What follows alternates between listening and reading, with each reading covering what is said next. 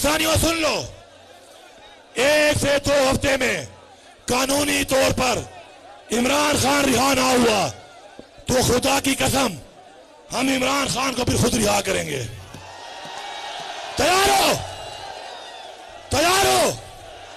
हक के लिए तैयार हो? मैं आपको लीड करूँगा। मैं आपको लीड करूँगा। पहली गोली मैं खाऊँगा, आगे मैं हूँगा।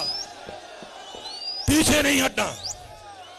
अगर अब पीछे हटे तो न दोबारा ऐसा मौका मिलेगा, न दोबारा ऐसा लीडर मिलेगा, न दोबारा ऐसी कौम मिलेगी, न दोबारा ऐसा जज्बा मिलेगा। इनशाला इनशाला इमरान खान जल्द हमारे दरमियान होगा। और जो उसके रास्ते में रुकावट बना, फिर मेरे पास भी कई लोगों के केस पड़े हैं। हथकड़ियाँ लगा के घसीटूँगा उन सबको।